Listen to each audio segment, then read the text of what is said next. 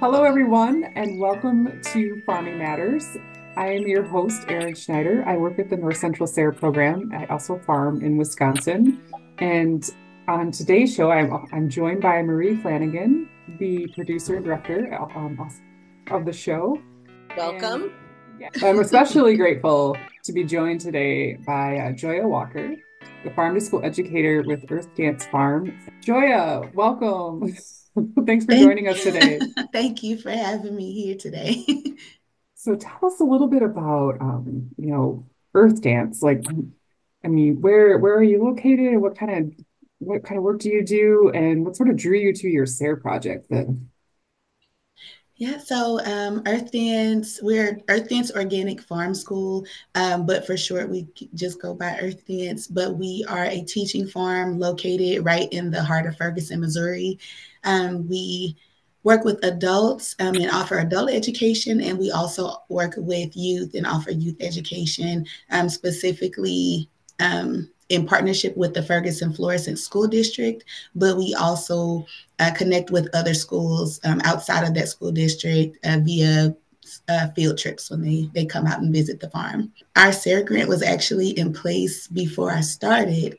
And mm-hmm. so um, I was able to come in and uh, kind of fall of 2022 and just kind of jump in and picked up where our previous farm to school educator left off. So, um, yeah, like I uh, said, we're Earth Dance Organic Farm School. So um, we have lots of different people that come out to the farm. So these are some pictures of volunteers, some of our um, our farmers, some of our farmers and staff. Um, so we we all take turns getting our hands in the soil.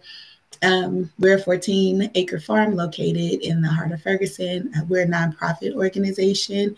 Um, our mission here is to advance food justice by training organic farmers and gardeners of all ages, um, providing connection to healthy food in the land, and to cu- cultivate a vibrant community. Um, so I'll give you a little information about me. So um, I studied culinary arts back in 2004 at uh, Forest Park Community College. Um, and I w- was able to take what I've learned from there and start a small meal prep and catering business that's um, specifically focused on health um, and wellness coaching now. Um, so in 2022 is when I came to Earth Dance. I came as a summer apprentice. Um, I wanted to know how to grow food for my business and I wanted to know where my food was coming from. And I actually grew up in Ferguson. So it was very cool to me to find an apprenticeship program right in my very neighborhood that I grew up in. So um, I was accepted in the apprenticeship program in 2022. And once I uh, completed the program, the farm to school educator role opened. So I, I finished the program in July, the role opened in August. And so um, I was just kind of able to transition right from the apprenticeship into that farm to school role. Um, and then currently I serve as the farm to school educator here at Earth Dance. Um, and I'm able to connect with, I've been able to connect with hundreds of students and lots of teachers um, in the very school district that educated me. So that's kind of a full circle moment for me. um, so one of the things that we do is um, education, adult education. Um, we offer adult, we've been offering adult education for years, I believe since 2009. Um, and spring training is um, one of our newer programs. Um, it's a five week program for adult um, beginner gardeners that want to know more about starting a garden or composting or um, just need a little bit of help or a little bit more information. Um, so we do online classes and hands-on classes in that program. And then we like highly encourage the Ferguson Florissant teachers to participate in spring training because the class is free for them. And then they also receive a professional development stipend for participating in the course.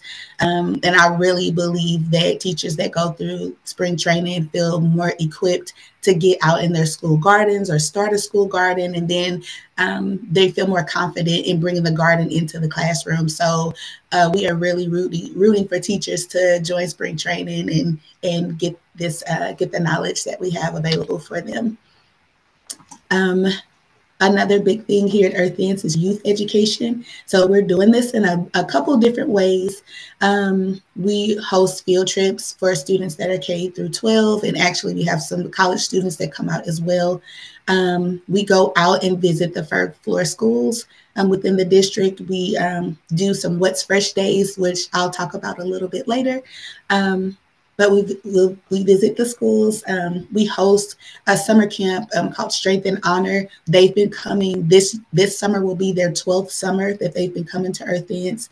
So we see them every Friday. We do different activities on the farm. One of my favorites is um, cabbage baseball where we have like little cabbages that maybe the bugs have gotten to and we can't sell them, but they're perfectly round. And so that makes them perfect for baseball.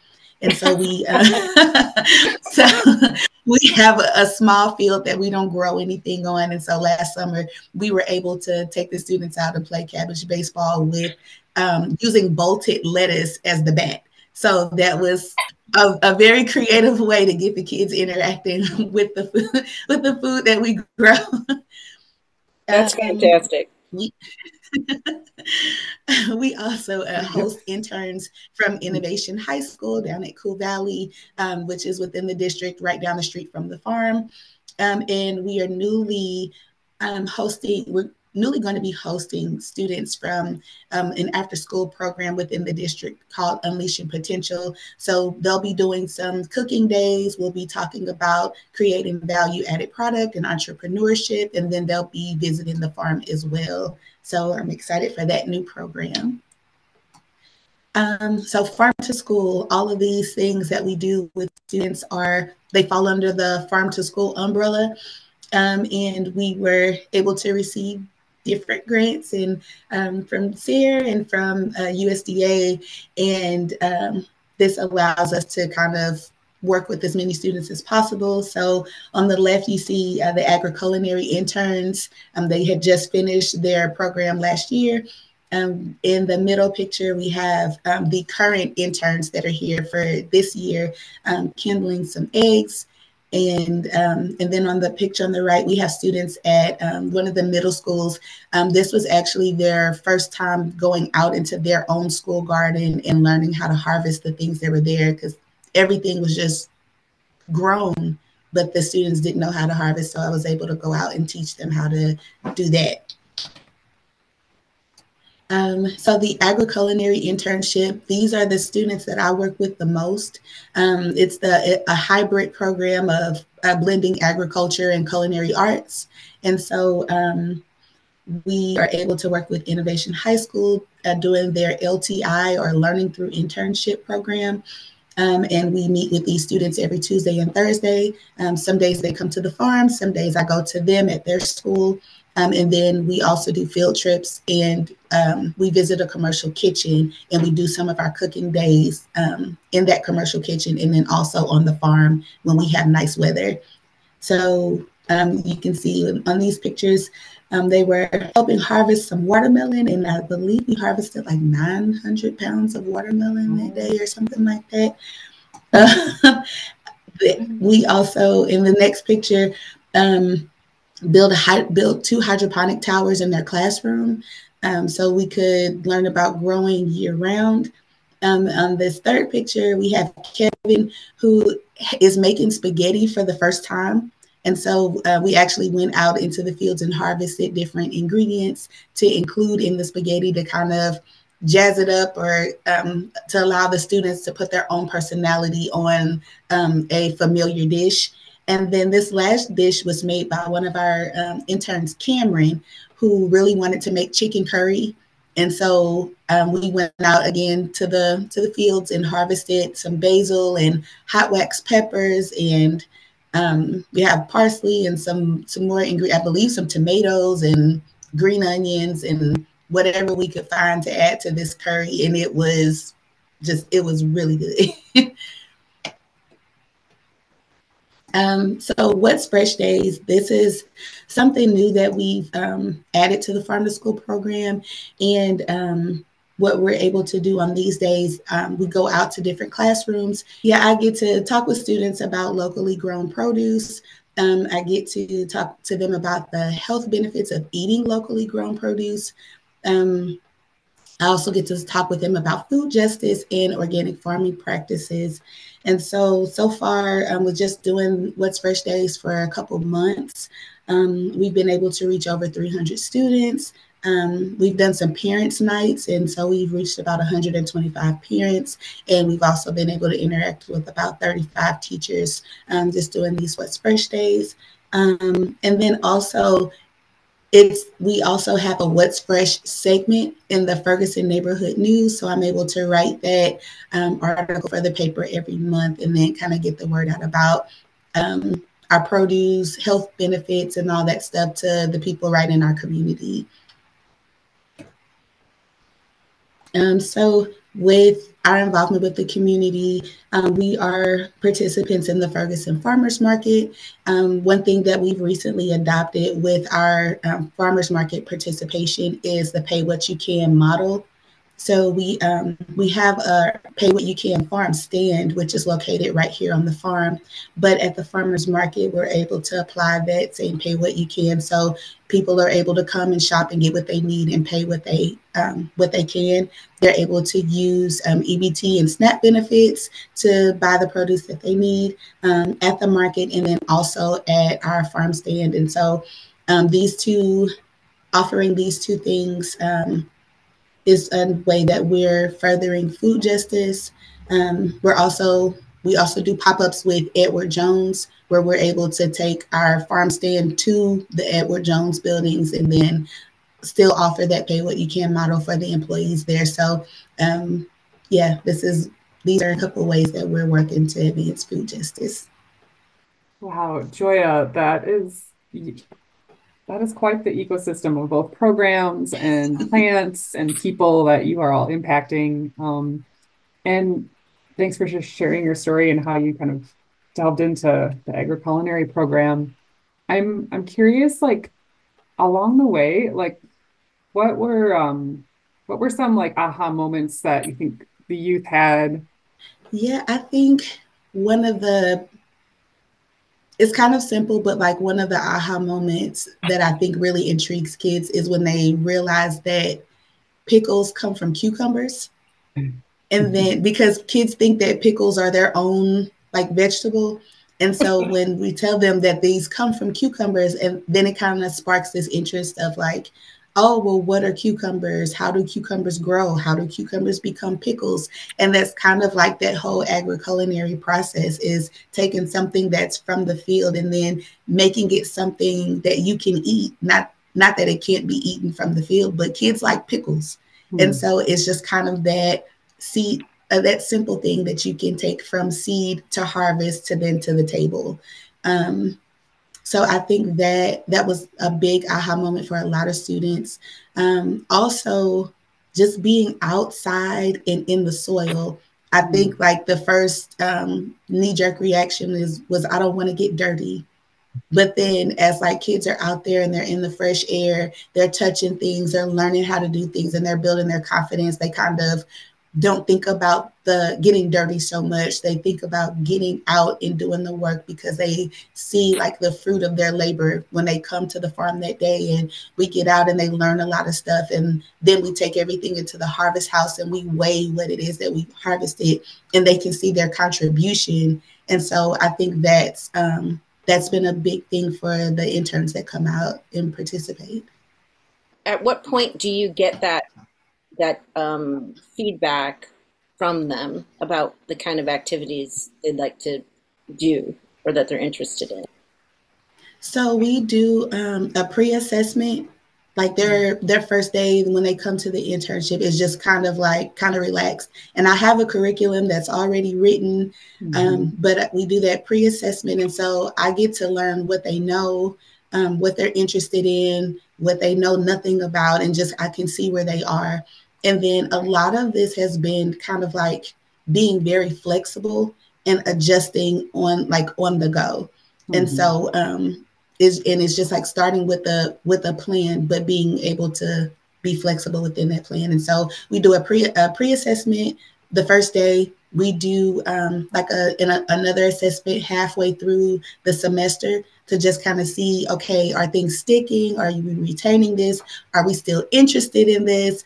Based on based on the experience you've had so far, do you have new things you want to know about or, or something that we've already done that you want to dig into a little further? And then we do the end of the semester assessment so it's kind of like okay at, at the end of this semester do you feel like this was beneficial to you? Um, is there anything that we missed? Is there anything that you would like to see be different? Because a lot of these students that participate in the internship they actually returned. So I have some mm. students now that this is their third year participating in this internship, and so I don't want it to become stale or boring, but I but I still want it to be like familiar where they get to exercise the things that they've learned. You could share a little bit about maybe how perceptions may have shifted, or do any of you have interest in going on and um, past uh, agriculture in your area, or or they're still kind of learning about all the options for them? Yeah, I think they're still learning about different options. Um, we ha- I've had one um, one intern. She was able to sit in on a soil sampling workshop, and when she heard that like there are not a lot of soil scientists in Missouri, mm-hmm. it was like she kind of heard like this is my my niche. Like I can go to school for this. Um, Lincoln University here, they they actually offer a scholarship program where it's everything is covered um, tuition, housing, and they also offer a summer job. And so, with um, this particular student being interested in that scholarship, it was like the dots connected for her. Like, I can be a soil scientist. It's you know, there's not a lot of people doing that. Like, I can do this and be be valuable in this community. And so, um, that was like, I think how that kind of connected for her. She was able to explore that, and then I think um, there's another student, he's very into bugs and he didn't know that he could go to school for that. And so it's but so we've been just kind of like really encouraging him to go to school, go to Lincoln, take advantage of that scholarship.